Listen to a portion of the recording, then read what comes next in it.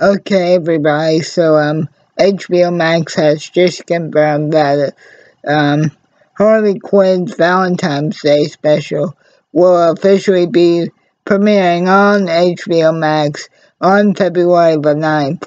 Again, everybody. Harley Quinn, Harley and Ivy's Valentine's Day special, um, where, where they probably fuck up Fuck Up Gotham with Some Love will will be dropping on February the 9th. Have a good one. Again, Harley Quinn's Valentine's Day special will be dropping on February 9th. Have a good one.